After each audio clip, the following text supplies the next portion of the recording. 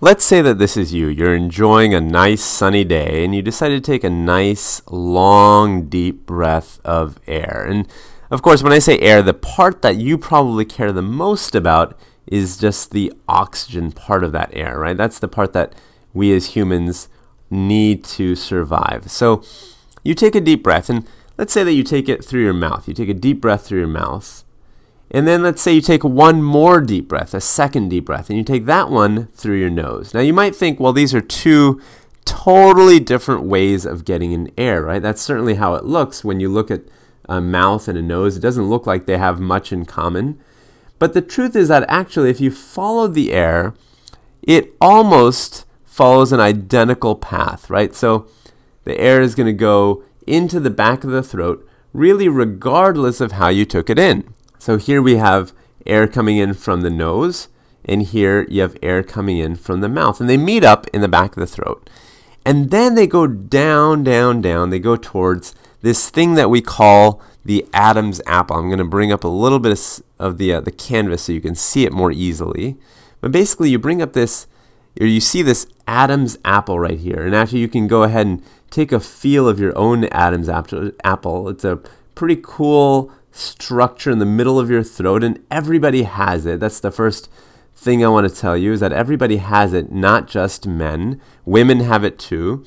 And the reason it's called an Adam's apple, it's called an Adam's apple because Adam is a is a generally a boy's name.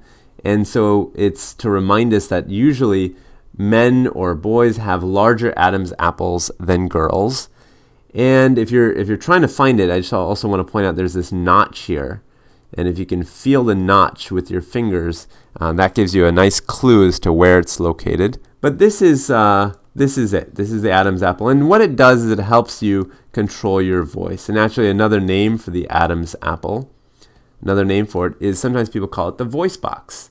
The voice box. And of course, air is passing through the voice box, and it's kind of the entryway into the trachea. And so it actually allows me to make my voice really high or make my voice very low, depending on how you change the muscles around in that Adam's apple. So that's actually the, the kind of first cool thing I want to point out to you is that you can actually control your voice. I'm sure you knew this already, but what you're using is your Adam's apple or your voice box. Now, air keeps going, right? Air is just going to keep making its journey down. And specifically, of course, the part of air I said, you know, we care about is the uh, oxygen, it's going to keep making its journey down into the lung area. So this is now the lung area. It's gone down the trachea and it goes into the two lungs, the right and left lung. This is the left lung. I'm going to put L for left, and this is the right lung. I'll put R for right. And immediately you're thinking, well, wait a second, aren't they switched? Now I want you to remember that this is from the perspective of the person who owns the lungs. So that's why I'm putting left where I put it and right where I put it. Now, we should probably go ahead and start labeling some of this. You can see that the lungs actually don't look identical, right? They look slightly different. For example, this one has three lobes. The right side has three lobes. We call it the upper lobe, middle lobe, and lower lobe. And the left one only has two lobes. So that's the first kind of big difference. And the other difference is that you actually have this thing in the middle that we call a cardiac notch, this thing right here. This is called the cardiac notch. And the reason we call it that is that it's a little spot that gets formed because the heart is literally kind of peeking out here. And as a result, it kind of makes a notch in the lungs when it develops. So the heart takes up a little bit of space here. This is our heart. And as a result, it takes or makes that notch. So this is our heart space here. So on the other side, you've got, of course, your two lobes, your upper and lower lobe.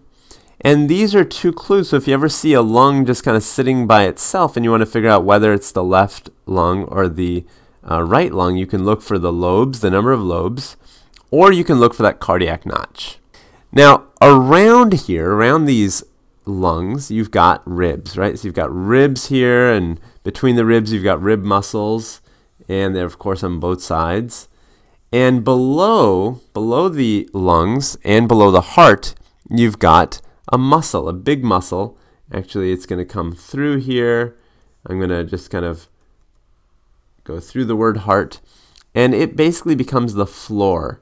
So the heart and the two lungs, they sit on this floor made up of this muscle. And this muscle is the diaphragm muscle.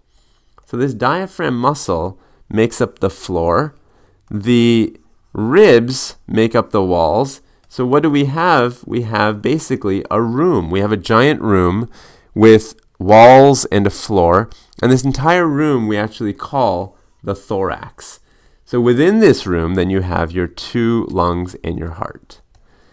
So, so far so good, but I haven't done a very nice job of actually showing you where the air goes. I've just kind of pointed that it goes to the two lungs, but you don't actually get to see where it goes after that. So let me actually, I'm going to erase a lot of this. I'm going to reveal to you what it would look like if you could slip on some x-ray glasses and look at your two lungs. This is kind of what it would look like, right? You've got all of this interesting uh, architecture and the easiest way to kind of think about this, probably the simplest way to think about this, is to imagine a tree. So imagine a tree, and that tree has been flipped upside down. So you've got all these branches off that tree, and they're branching and branching. And if you flip this tree upside down, you start seeing that it looks a lot like what we have in our lungs. Our lungs basically look like a flipped up or flips the upside down tree. And we even call it that. We even call this entire structure, we call it a bronchial tree. So when you look at the lungs and they look kind of messy or complicated, just think of them as an upside down bronchial tree and all of a sudden it'll it'll look much simpler with basically in the middle you've got this nice trunk, right? This is our trunk and then it starts kind of branching from there. So air goes down this main trunk, this trachea, and then it kind of starts splitting up. And each of these kind of colored regions, the green region or the purple region, serves a different lobe. So this green region serves the lower lobe down here. The purple serves the upper lobe. And on this side, you've got an upper, a middle, and a lower lobe. Now, I know it looks a little bit strange because you've got some green branches in what should be the middle lobe like right here. You've got some orange branches in what looks like the upper lobe, like right there.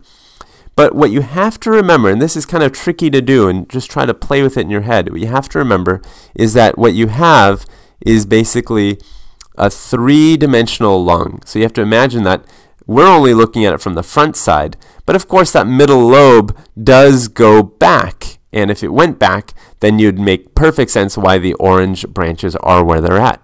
Now let me continue the air journey because I want to make sure we finish it off.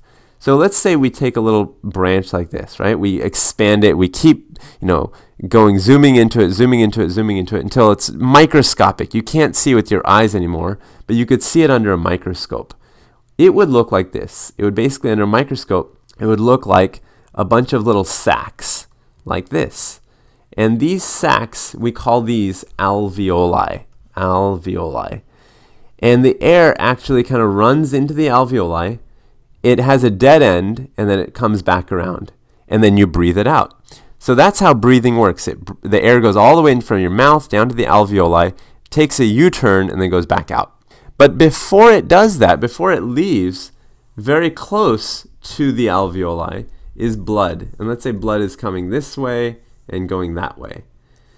And what will happen is that actually out of the, or into the blood, let's do that first, will go oxygen. Oxygen will actually go into the blood.